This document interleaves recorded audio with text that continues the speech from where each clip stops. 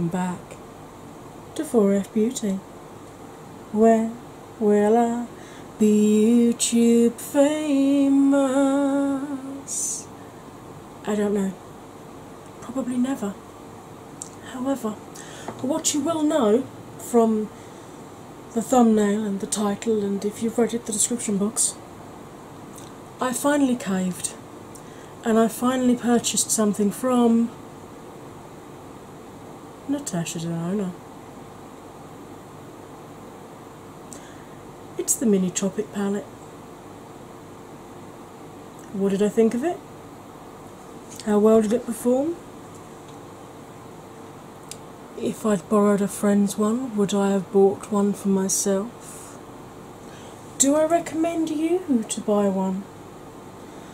All of these burning questions and many more will be answered if you sit back with a drink and a snack and enjoy. Hey, welcome back from the intro. You will have seen in the intro that I caved. I've always said I'm not going to buy Natasha Denona, it's too bloody expensive. No point. The only thing I was interested in really was the colourful row from the Tropic palette and the Safari palette, but I've I've assuaged my need for the Safari palette basically with that one. and the Melt Smoke Sessions and all the other green palettes that I've been buying in the last few months. Um, but then she released the mini of the Pretty Row from the Tropic palette, and it was 25 bucks. Apparently, it was Sephora exclusive and also on her website, obviously. There they all are, look, beautiful. I have swatched them all to it up on screen somewhere while I'm talking to you. Um, now, if I'm looking at buying Natasha Denona, I normally go to Cult Beauty because they have the best prices. So um, I tweeted them, or I tweeted them. What is it? Do you Twitter or do you tweet? I, I don't know. I'm too old for this nonsense. It's too hot. But I couldn't resist playing with this palette. Um, I tweeted at them saying, Are you getting the Natasha Denona mini palette? Because I thought it's limited edition. If it doesn't come to the UK, I am going to be kicking myself for not buying this. But likewise, I didn't want to buy it and then pay a fortune in delivery because obviously I'd have to buy it from her site because Sephora UK no longer ships, uh, Sephora US no longer ships to the UK. We don't have a Sephora in the UK. Um, if, if we try to get onto the Sephora US site, it automatically rediverts us to the French site, which doesn't get the releases at the same time as the America one and doesn't get all of the releases either. So I thought if Cult Beauty are going to get it, I'll wait because obviously I didn't know whether I was going to get hit with import charges and all kinds of things. I thought I'll wait because they've got the camel palette which is the same size and it was 41 quid and I'm like yeah okay mm, I probably will you know treat myself have a splurge because I've been suffering recently pain wise and whenever I suffer I usually end up buying myself something a little bit too expensive the last time it was the melt smoke sessions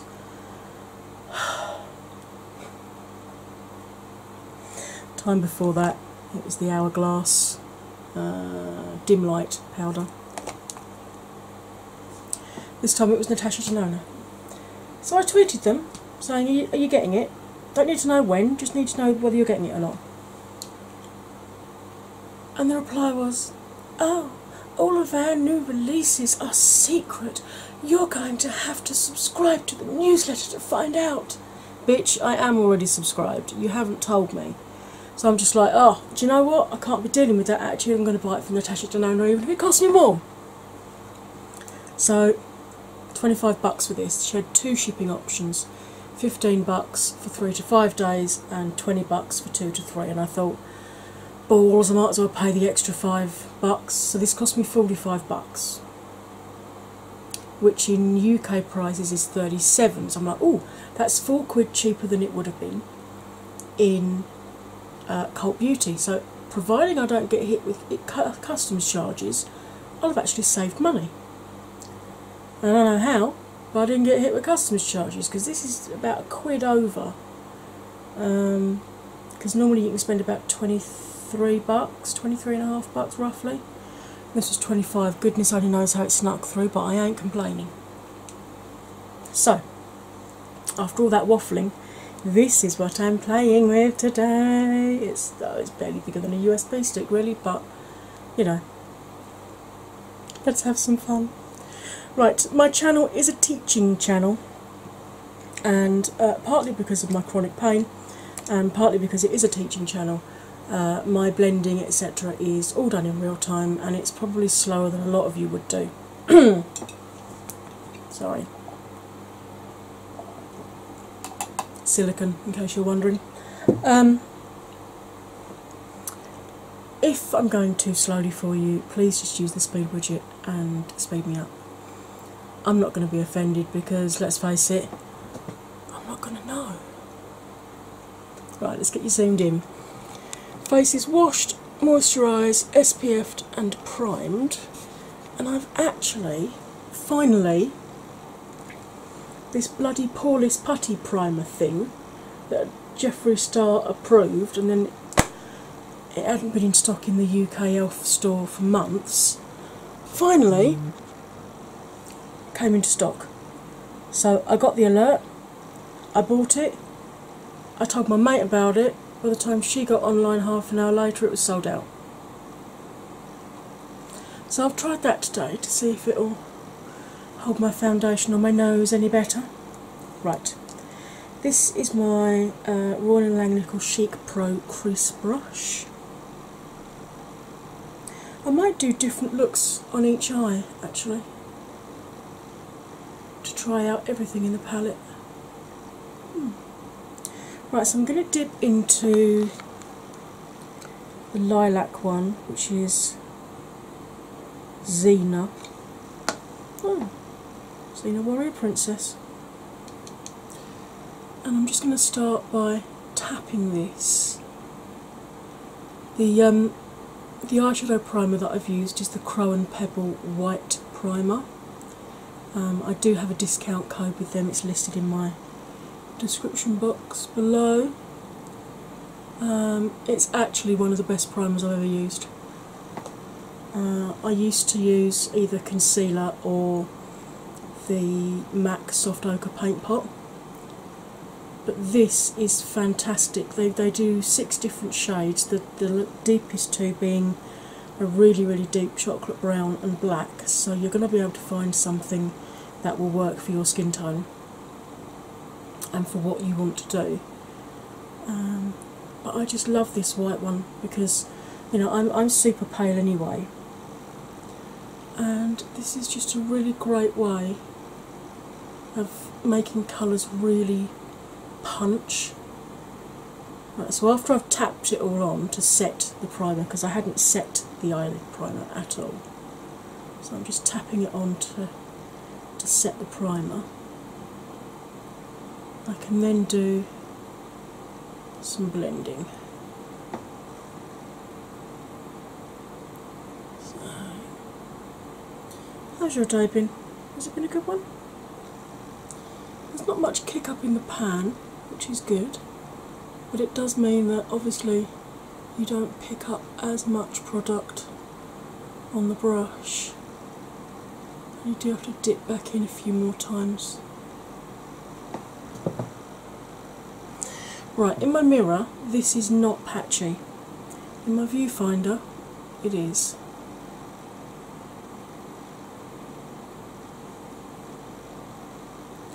I get that quite a lot though, and then I edit it and it doesn't look patchy at all, and I'm just like, mm, okay. But I promise you, in my mirror, this looks absolutely perfect. Hmm.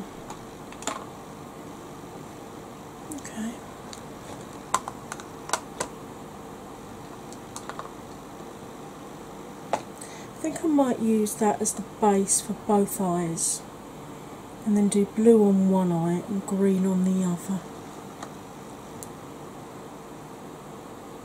I think that's the way that I'm going to go with this. I mean, not being funny, 37 quid for this tiny amount of shadow is a ridiculous price to pay. But I've wanted to try her. I've, I didn't have her on my brands I wanted to try list because, to be quite frank, I didn't think she'd ever release something that was in my price range that would interest me. Because all the mini palettes that she brought out, like the camel palette and the cranberry palette, they just weren't grabbing me. I just, I said to one of my mates, if she'd just released that bottom row, the tropic palette, I'd be quite happy. I'd, I'd buy that. And uh, you know, I obviously put it out into the universe, and she heard me. But I've got to be honest. I, I don't, at the moment at least, okay, I've only used the one shade, but at the moment I'm not really seeing anything spectacular to warrant the cost. Do you, do you know what I mean by that? It, it's just, it's not performing any better than um, my September Rose palette. Uh, the purples in there, or the Blush Tribe palette with purples, the Hasina 2, or the Affinity palette from um, Certify. Just cleaning this brush off on a um, clean washcloth. And I'm going to grab a slightly more tapered brush. This is still uh, the Chic Pro range from Royal and Langnickel, but this is the eyeshadow brush, and you can see it's a little bit more oval rather than being blown out. So I'm going to pick up, I'm actually going to have to use a shimmer through my crease because both the greens and the dark blue are shimmers. But as you know, that doesn't worry me. I'm, you know, I've done all shimmer looks before now. So I'm just going to run this through the crease in a windscreen wiper movement, like so. Now, obviously, shimmers don't blend out as easily as mattes do because they're not intended to be blended out. But I have put some more pigment on and I am going to attempt to blend. this is laying down okay at the moment.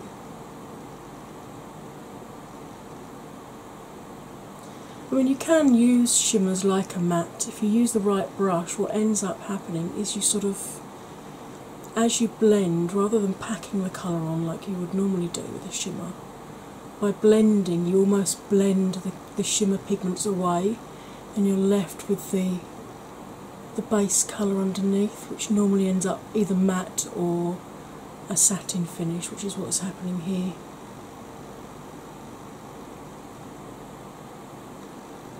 That's blended out okay. Blended well into the um, matte that we've got going on. Just going to run a bit of that on the outside edge of the eye.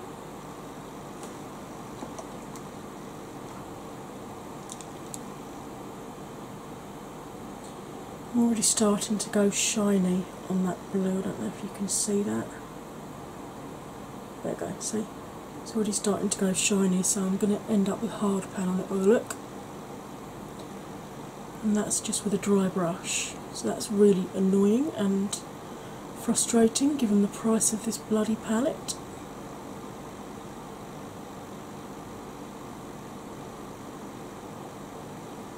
that's blended out okay. I'm okay with that. I'm going to clean this brush on the uh, clean washcloth again. Uh, that shade, by the way, was called Tiger Lily. How lovely. And I'm about to go into exotic. How the hell is green exotic? Oh, my eyes are exotic because they're green. Sorry. Having a bit of a Kenny Everett moment there. For those of you old enough to remember him. I've still got a 7 inch vinyl copy of Snot Rap Rap by Cupid Stunt. You really have to be careful how you say that one. Okay, this green is actually really nice. Having blasted it for its name, it's. That's actually quite a nice green. Um, don't pull your eye out like I just did then. I have to do that because I have super deep creasing here. Um, I was so excited to play with this. I didn't explain the difference between hooded eyes and everything, did I? I will explain that just before I disappear off to do the foundation now.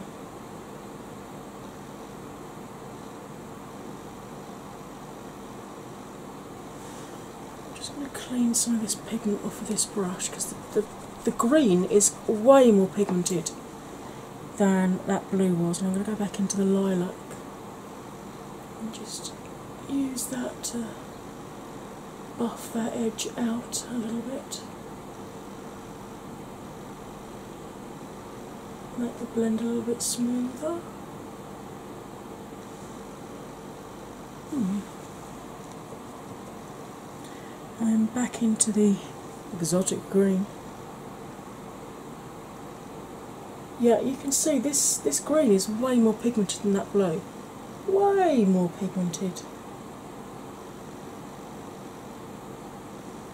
That green is really nice actually. Still not sure it's worth 37 quid, which is obviously what it cost me. I mean, had I not had the ridiculous um, 20 bucks delivery charge, if it had just been 25 bucks, which would have worked out to about, I suppose, just under 19, no, 25 bucks would be about 21 quid, 22 quid. That would be far more acceptable. But living in the UK, we always get stung with delivery. Always. And then, if we do get stuck with import charges, it's 20 bloody percent and a handling fee of anything from 8 to 23 quid, depending on who's handling it. Right, I will just quickly go over eye shapes now. When I look straight ahead with my brows relaxed, you can see all of my mobile lid from inner to outer corner. So I don't have hooded lids. If your static lid completely covers your mobile lid right down to the lash line, then you have either a full or a half hooded lid or what's known as a mono or an Asian eye. Now, what I've got is deep set eyes or double lidded eyes, and I'll show you what I mean by that. If I cover the mobile lid this side and close my eye, look how much lid folds back in. It's not visible when my eyes open. And now, if I do the same on the static lid, you can see basically all of that green tucks back away, as you can see, because when it's open, you can only see the barest little sliver there. So, that is what a deep set eye is. It's not a hooded lid, but we do get the same issues with transference of shimmer onto our upper lid. Um, if we're cutting our crease, we can't just follow the socket, we have to go up onto the lid. And even when we use glitter glues, we end up with a bare patch, usually right through here. Now, if you have got hooded lids, you can still follow my tutorials. All you need to do, get a brush like this, with your eye open, just sketch yourself a new crease line so you're creating a mobile lid on your static lid. And because I always use deeper colours through the crease, it'll give the illusion that that bit of the eye is further away, and then it'll look as if you've got deep set eyes rather than hooded lids. Yes, it will reduce the space between your new crease and your brow, so just use slightly smaller brushes than I do, and you'll be absolutely fine. Now, I normally say that before I put uh, makeup on, so I apologise for getting so excited. Right, now I'm going to go into the light blue, which is a matte, which is called Laguna. Now that makes me think of Laguna Beach, which makes me think of uh, Mario Brothers. I'm just looking down into a mirror here because obviously I can't close this eye because being blind in that one I wouldn't be able to see what on earth I was doing, but at least this way you can still see. So I'm just going to apply this. Wow, that's got some pigment. Okay. I'm just going to apply this to the part of the lid that didn't have any colour on it yet. I've not cut the lid because I want to see how much opacity these have, whether they'll have enough to sort of cover the deeper shade that's through the crease. And that one, that one worked absolutely fine. But it is a matte, so I would have expected it to. Now, the last shade in here that I have not tried yet is Mint Frost. So, cleaning my brush off again, I should go into Mint Frost. Yeah, this is definitely going to get hard pan. Going shiny the minute you put a brush in it. Don't expect that with this sort of price of shadows, Natasha. Right, I do have to pull my lid out for this bit, otherwise it all builds up in the crease, and then as I move my lid during the day, I get speckles falling down my cheek, which, if you're going for the multicoloured freckle look, that's a really easy way to do it, but uh, not a look I was planning on, to be honest. Right, this is being applied dry. I will put some I will try it wet to see if it makes any difference. Never put a wet brush into a um, pressed pigment.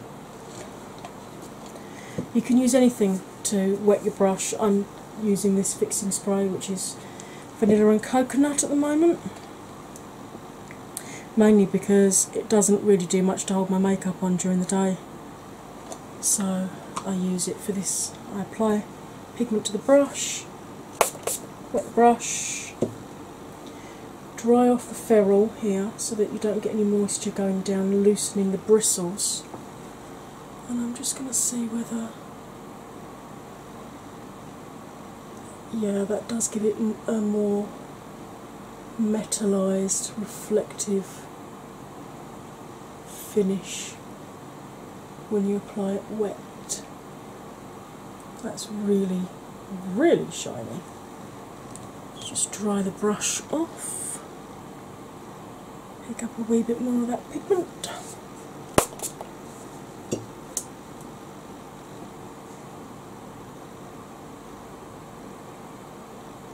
Yeah, that's that's super reflective.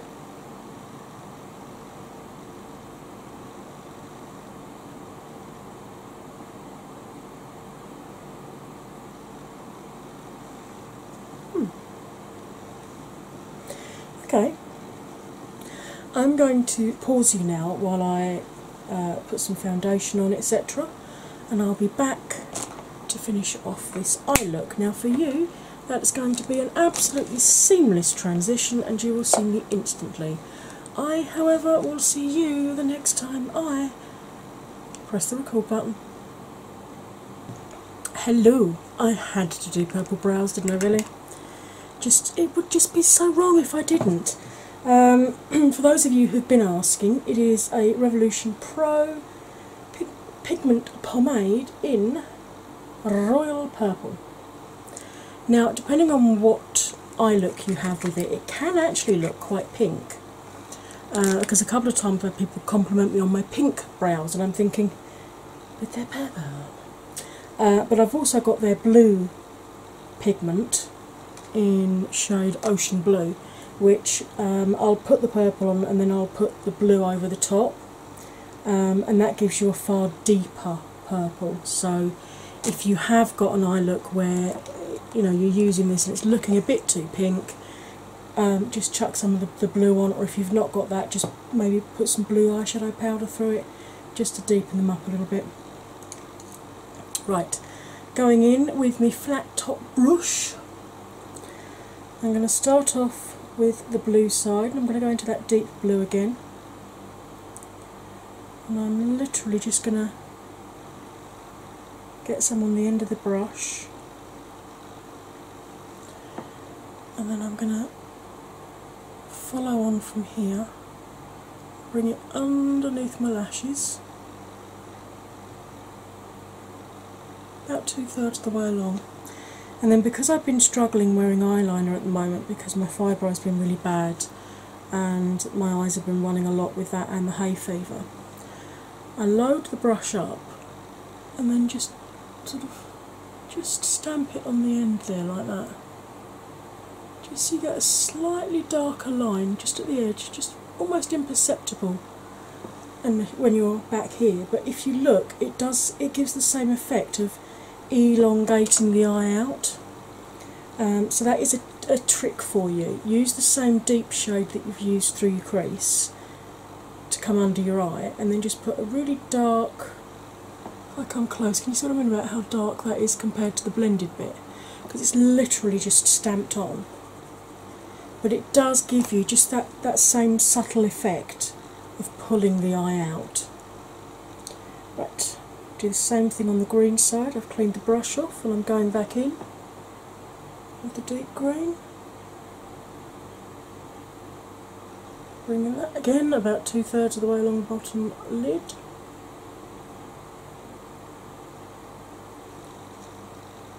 And then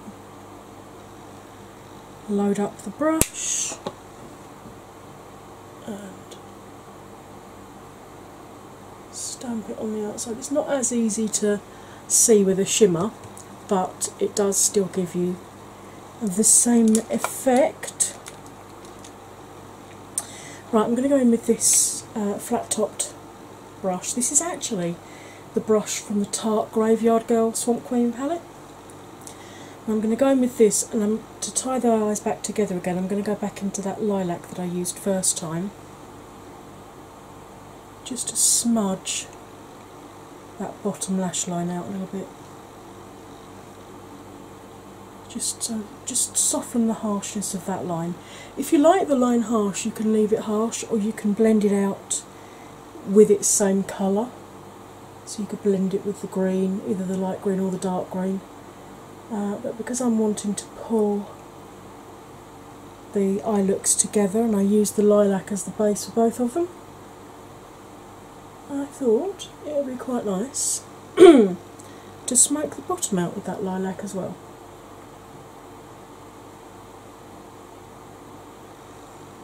Hmm. Right. Time to decide on a highlight. Um, I think actually, shall I go into one of my.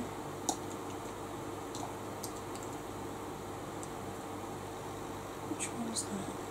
No. Uh, work with the. Right, I'm going to grab. Um,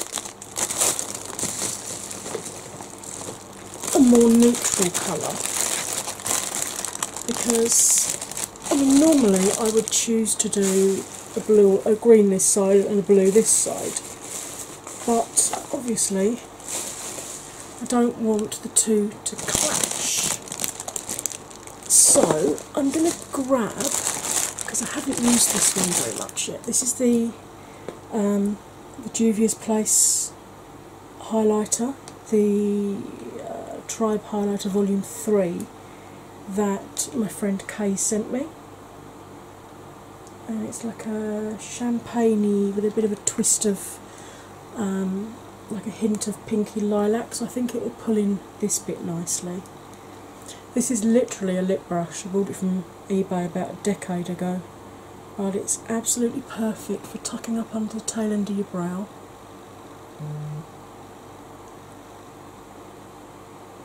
Just to help lift that area. That's why I always leave about a you know three four mil gap between my brow and the colour just because I really want that brow highlight to show.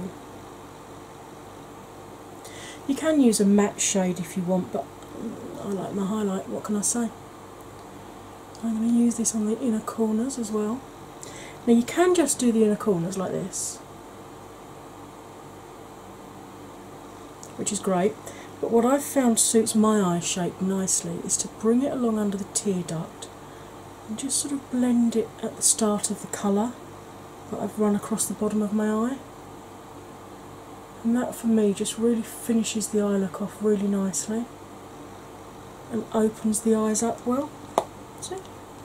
Right, I'm going to pause you one last time while I put this all over various parts of my, my face, do some mascara, do some lippy, do something with my hair, and I'll be back with my final first impression thoughts. You ready? Let's go. I am back. I am melting, but I am back. Right. Uh, mascara was the Catrice Glam and Doll Waterproof Extra Volume, which uh, is the bang on dupe for Benefit Bad Gal Bang, but it's cheaper and it's waterproof. This rather glossy, lovely, tingly lip that I have on is one of the new ones from um, L'Oreal. It's their Colour Riche Shine Coconut Plump, this one. Um, I've also got um, an orange coloured one and I've got a pink one over there as well. These are actually really nice. They, they give just enough of a tingle that you feel like they could be plumping your lips, but it's a nice cooling effect, particularly in the summer. And I like this, they give just enough. It's almost like a lip gloss, but in a stick format, so much easier to handle. Uh, and setting spray was, uh, I actually used my Milani Make It Dewy setting spray because I was feeling a bit powdery. So, Natasha Denona Mini Tropic Palette, what do I think? Um, I think it performed okay. Uh, do I think it's worth the high cost that you're paying for it? No. No. To be perfectly honest, um, for the price I paid for this, I could have got indie brand palettes, full sized indie brand palettes. I mean, the cost of this was what 37 and I think my Hasina 2 was 25 quid, and that's got pretty much all these colours in it and then some, and it performs just as well, if not better. That that shimmery dark blue didn't. That that's the only one that I was mm, less than impressed with. That shimmery dark blue. Okay, you could say, well, it's a shimmer. It's not designed to blend out. But no, but neither is the green one. But that blended out absolutely fine over on this side. But that blue really needed coaxing into A, getting onto my brush, and then B, getting from my brush to my face. Um, if you really want to try Natasha's formula like I did for yourself, then I would definitely say grab one of her mini palettes, um, one of the cheapest ones that she does, because at least then you're not stung too heavily in your in your pocket, and you've got a Natasha Denona to compare to other. Uh, but to be perfectly honest, I could have achieved this look with the Hasina 2 palette. Um, I could have achieved this look with Affinity 1 and Affinity 2 from Certify.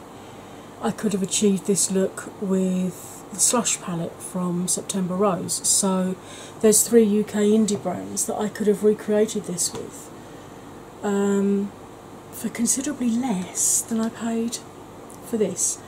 I'm glad I've got it, I'm glad I've tried it, I'm glad I've got my curiosity out of the way. Will I buy any more? No. No. Um, there was nothing spectacular about those colours. There was nothing groundbreakingly amazing about those colours. So, no. It's an okay palette, it's a nice enough palette, it performed well enough. Um, it'll be great for travel in terms of, you know, you could, you could, ladies, we could almost sort of like shove it under our bra strap when we're going out for the night, kind of thing. Um, I wouldn't advise that. Don't want to drop that out and have it smashed. Not the price you paid for it, but you know, if you're if you're going overnight to a mate's and you know you're going to need to do your makeup either for the evening or for the next day, then that's a good travel size palette. But then, so is this five pound Wet and Wild palette. So is this 12 bucks with delivery and everything here, they work out about 16 quid palette. They're all small, they'll all fit in your handbag nicely. Um, they all perform well.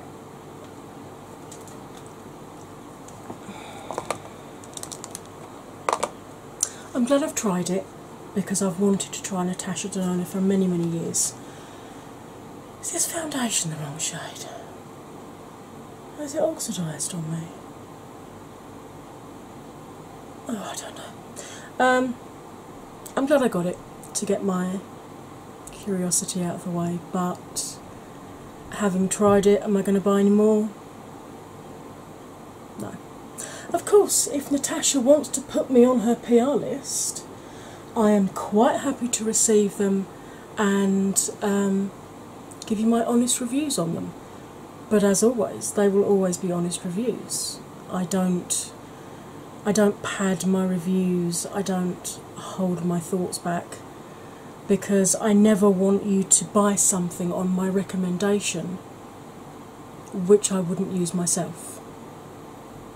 If I tell you a palette is good, if I give it a one thumbs up or a two thumbs up, then it means that it is going into my rotation and that I will be using it off camera when I'm not filming. Will I be using this off camera when I'm not filming? Probably not, to be honest. Um, I may use it when I, you know, we, we sometimes go up at the weekend to see our brother. It's this tingling lipstick, it's just making me impossible to speak. Uh, you know, we sometimes pop up and see my brother in law, and then I have like a little mini makeup set with me. At the moment, it's got um, one of the little Super Shock shadows from um, Colourpop that I just whack across my socket. It's got a brow and a mascara and a clear lip salve and and some powder and some concealer and, and that's kind of my mini makeup kit. So I might end up putting this into that mini makeup kit because you know it's small enough, it's light enough and it performed okay. But would I recommend you to buy it? Not really. If you if you desperately want to try something from Natasha Denona, try and find someone else who's already got it. Try theirs. If not, then definitely buy one of the smaller palettes, one of the five pans, so that you're not too stung cost wise. Right, on that rather disappointing but still colourful note, um, I hope you enjoyed this. I hope you want to watch some more films of mine. Uh, there are plenty to choose from. Uh, if you are one of my subscribers, please double check you are still subscribed and that your notification bell is rung. Uh, there is an issue where people are getting unsubscribed. I had three people last week say to me, You were still in my newsfeed, but then when I double checked when you said about it, I was actually unsubscribed from you. And my numbers, it's, it's bizarre. I'll put a, a film up and instantly I'll lose between one and five subscribers, which then, thankfully, so far have sort of creeped back on again during the week. But it, it just seems like every time I put a film up, I'm losing subscribers, and yet they come back and they say to me, well, I was unsubscribed from you, so I don't know what YouTube are doing right now. Um, you'll probably hear this from a lot of small creators to please, please double check. And if you are new and you have enjoyed the waffling of this half Welsh, half Yorkshire, slightly nutty bird, and want to join the 4F family, then feel free to click that subscribe button, click that notification bell, and choose all notifications. Because you know you can ring my bell, ring my bell, my bell. Okay, that's quite enough. It's getting far too hot. Clearly, I need to go and do myself an iced coffee and uh, put my feet up and maybe nibble on a cheesy biscuit. Right, on that note, all that remains to be said, as ever, is you'll stay fabulous, and I'll see you next time. Bye for now.